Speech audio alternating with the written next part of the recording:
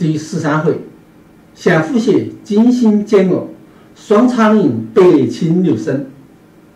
一日七回讲心，讲修心修行，手上丹田是初功，又叫筑基。道家又把它比喻成采药，用猴子比喻心，要悟空是思想上空，理论上的空，四大皆空。到第七回，出宫结束了，开始修命，手下丹田。道家又把它比喻成炼丹，只是外行不懂，误认为炼出了丹药。昏庸的明朝皇帝被欺骗了，又把比喻成炼铅、炼汞，这仅是比喻，从没有人见过。道家用八卦炉就能阐述贵金属。道家性命为天拱，底道顺曰：“夫天拱者，天地之始，万物之母，金丹之本也。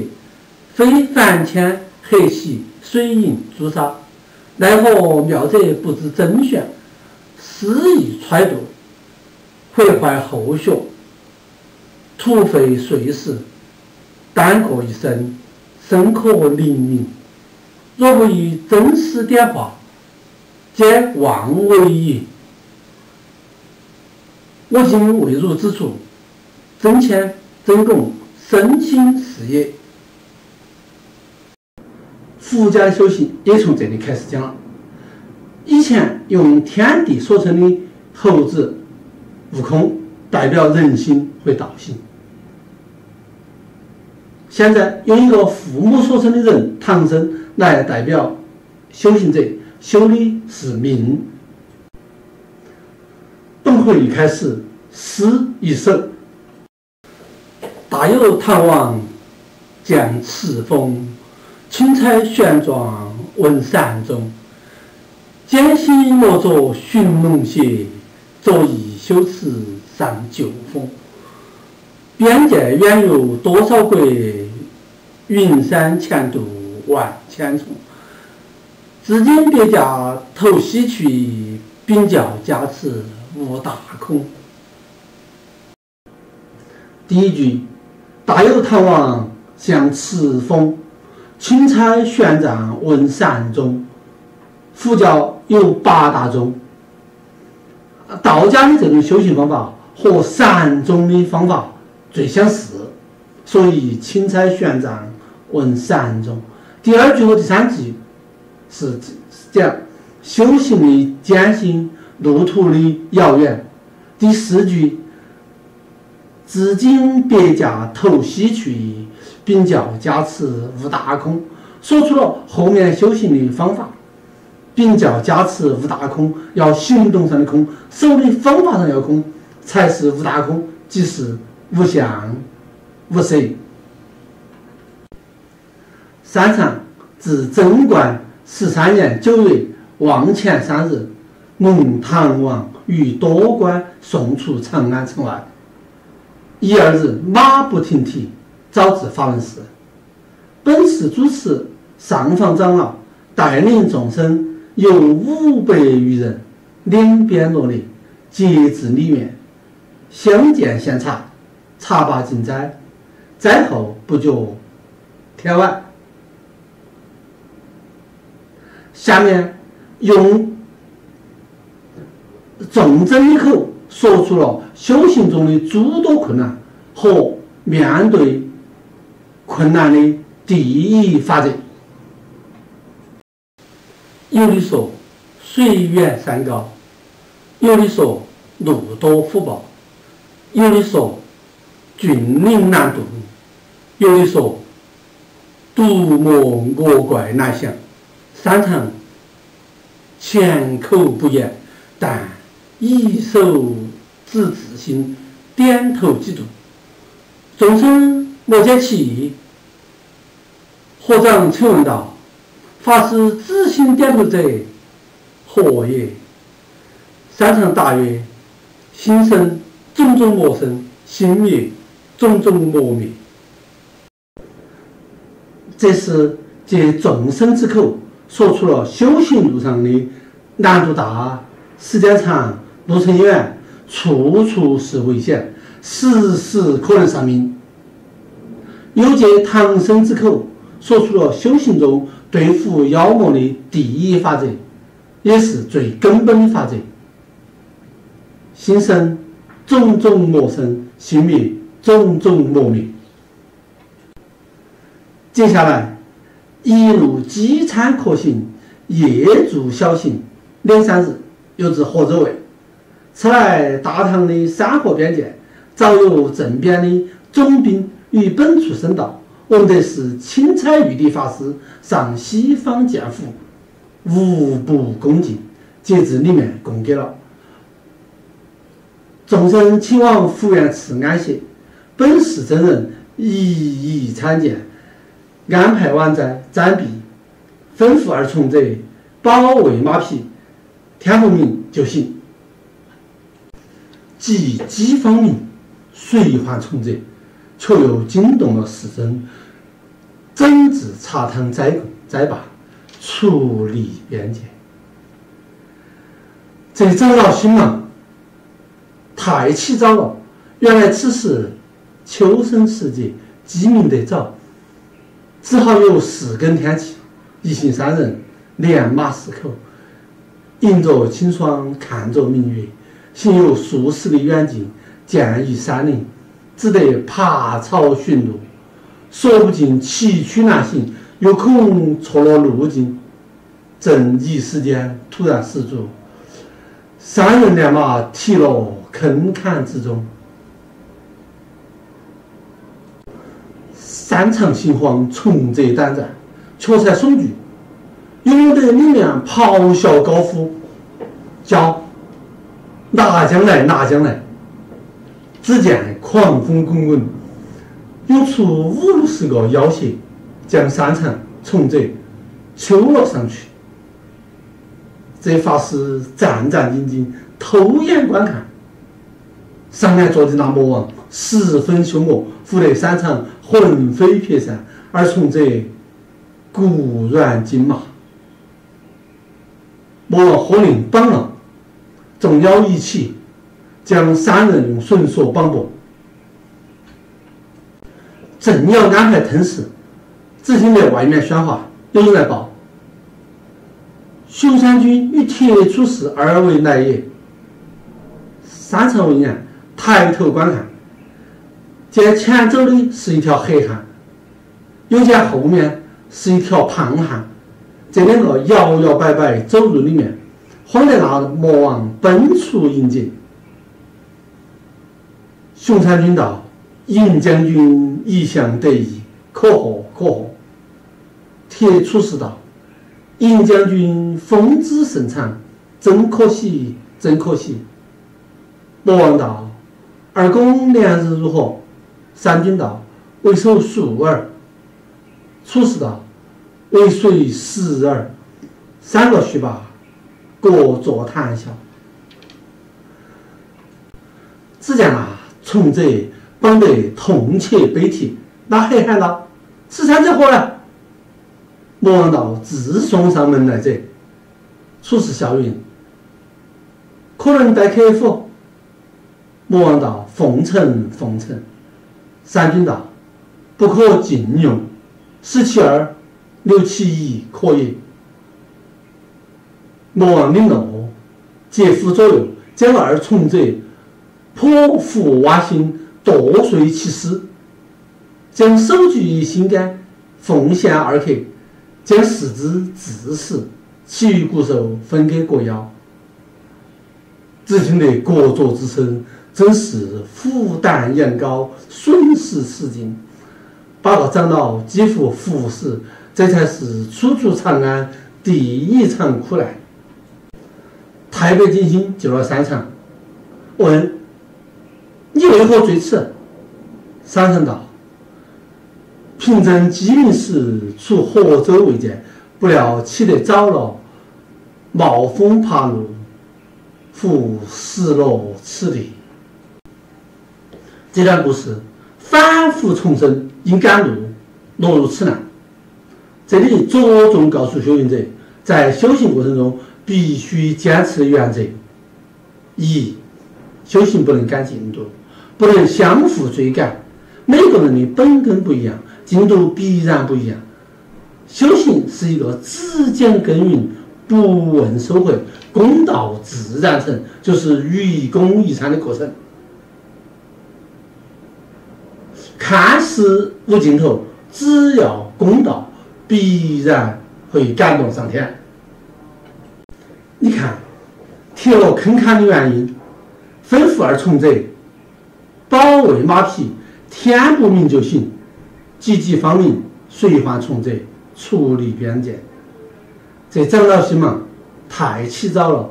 原来此时深秋时节，鸡鸣得早，只好有四更天气。一行三人，连马四口。迎着清爽，看着明月，行有数十里远近，见一山林，只得爬草寻路，说不尽，崎岖难走，又恐走错了路径，正时间，忽然失脚，三人连马踢落坑坎中，又用太白金星和山上的对话来反复强调这个问题，凭证。鸡鸣时出河州见，不料起得早了，冒霜爬路，忽失落此地。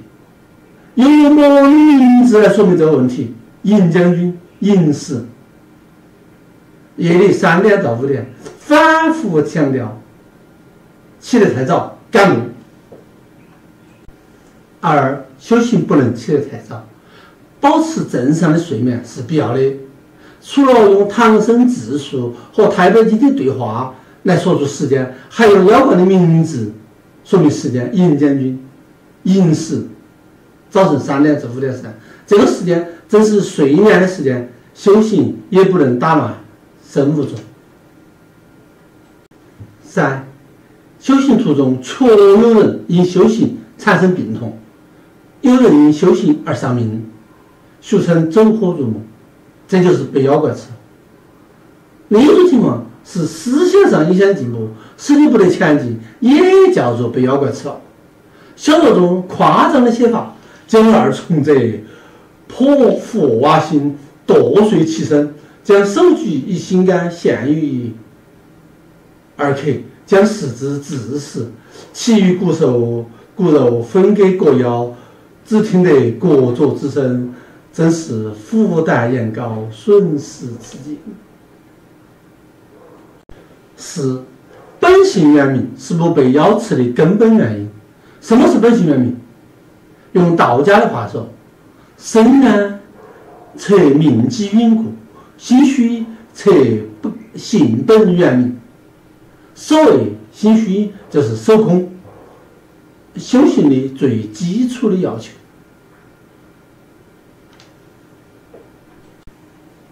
这是修行路上第一次遇到吃人的妖魔，山上谢过金星，牵了马，独自个孤孤凄凄往前苦进，到了双叉岭。什么叫双叉岭？就是岔道处，是人妖分界的地方，是走向仙道还是走向妖道的分界点。这个岭上。整个是寒沙沙，雨淋风，香潺潺，剪下水，香拂拂，野花开，迷重重，乱石垒，闹嚷嚷，绿云绿，一对对，张合集，喧杂杂，鸟声多，静悄悄，人是迷。这是对环境的描写，什么都有，就是没有人。那长老战兢兢，心不宁；这马儿力瘸瘸，蹄难举。沙场舍身拼命，上了那峻岭之巅。行进半日，更不见个人烟春色。一则腹中饥了，而且路有不平，正在危急之际。只见前面有两只猛虎咆哮，后面有几条长蛇盘绕。就这个短短的几句话，把当前的危机与处境全部写清楚了。修行者感到非常恐怖。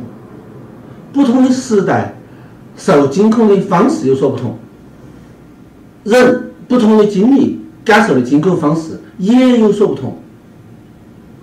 有人感受到眼前突然出现一个人，就站在自己几米开外，手持冲锋枪对准自己就开始扫射；有人感受到自己正在高速公路上开车，突然迎面出现一辆大卡车对着自己加速冲来，等等等等。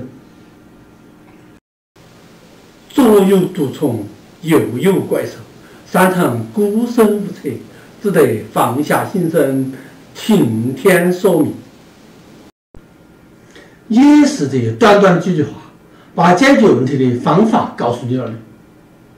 行者、修行者两眼轻闭，一手丹田，各种场景仿佛就出现在眼前。有吓人的，有不吓人的，或许还有比这更可怕的。对付的办法就是。放下心神，听天说命，不去管他，是这一段故事的精髓。把握这一点，问题就过去了。不要被他所吓到。《西游记》中很多类似的写法，简单就像这样：前面几句话把问题写出来，后面马上就给出了解决的方法。复杂的。前面用一两回来把问题说清楚，后面用一整回来写如何解决问题。接下来又这样写道：有无奈那马儿腰软体弯，即便跪下伏在地上，打又打不起，牵又牵不动，可那个法师陈身无敌。这个万分凄楚，以致粉笔是莫可奈何。这些话就是小说故事的描写，使小说更完满，前后连接更顺畅，与修行就没有什么直接关系了。这就是小说爱用的一贯手法。此时遇上猎户刘备清，打老虎救山场，安排住宿，是为难事相助；山场念经度亡灵，是知恩相报。